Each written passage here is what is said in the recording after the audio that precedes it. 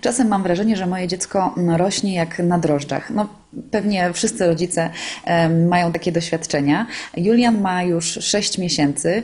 Naprawdę ten czas bardzo szybko leci. Mm, Kiedy przygotowywałam się do porodu, mm, oczywiście robiłam pierwsze zakupy, taką wyprawkę dla mojego dziecka. E, Tych ubrań miałam, mm, no może nie powiem, że bardzo dużo. Wydawało mi się, że e, w sam raz. E, Później oczywiście rzeczywistość zweryfikowała moje oczekiwania względem narodzin, względem potrzeb mojego dziecka, bo okazało się, że tych ubrań jest e, po prostu za mało. E, Cały czas musiał być e, przebierany, bo a to się coś ulało, a to gdzieś się coś wylało.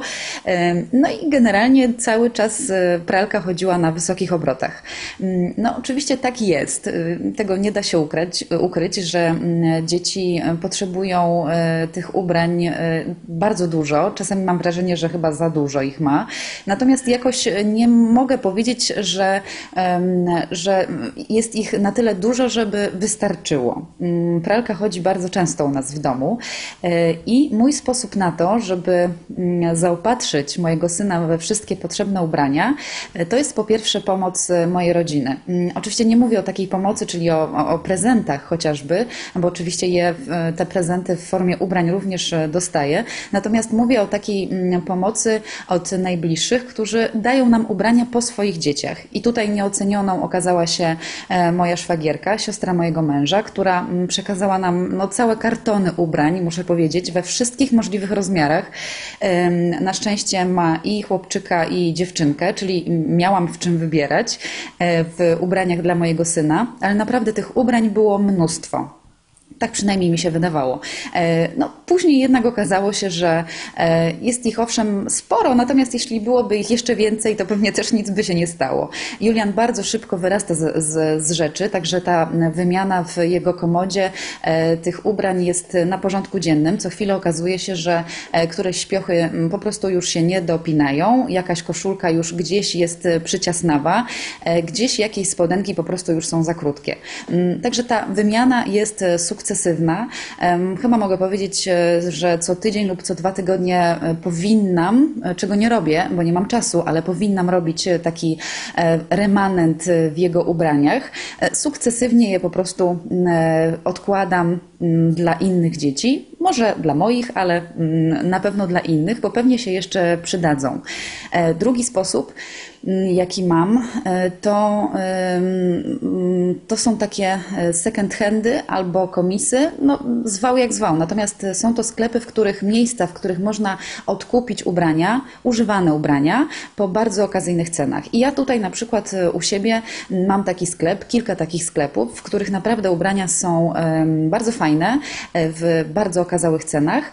I tak na przykład taki zakup, który ostatnio, mm, który, to taki, taka rzecz, którą ostatnio upolowałam e, w takim sklepie, to takie spodnie zimowe na szelkach dla mojego syna, które kosztowały bodajże 15 zł. Inna rzecz to e, koszula, spodenki, wszystko po kilka złotych dosłownie. E, I wtedy mogę powiedzieć, że wpadam w takie szaleństwo zakupowe, bo nie jest mi szkoda tych pieniędzy, bo są to małe pieniądze, krótko mówiąc. Za kilka rzeczy zapłacę raptem 20 zł. No i wychodzę z takim poczuciem, że raz, że zrobiłam świetny interes, dwa, że nawet jeśli te rzeczy zostaną natychmiast zaplamione jakimś marchewkowym soczkiem czy inną e, zupką i nie będzie się dało tego sprać, to nie będę miała aż takich wyrzutów sumienia, kiedy będę wyrzucała te rzeczy. W momencie, kiedy mm, kupuję rzeczy w drogich sklepach, w sieciówkach, e, no to mm, naprawdę czasami te ceny mogą przyprawić o zawrót głowy. E, No i wtedy z tymi ubraniami naprawdę muszę się trochę pobawić, żeby je odplamić. A naprawdę mój syn potrafi opluć chyba wszystkie rzeczy, które mm, miał na sobie. Mają gdzieś tam jakieś znaki e, szczególne, m, znaki użytkowania.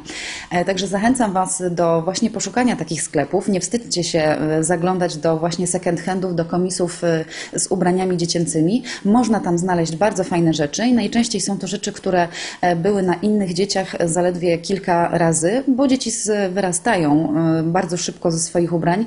Mm, Później oczywiście trzeba je wyprać, e, trzeba je od- odpowiednio przygotować do dalszego noszenia. E, Natomiast e, fakt faktem, że zaoszczędzicie bardzo dużo e, zarówno czasu na bieganie po, e, po, po sklepach, jak i e, zdecydowanie pieniędzy.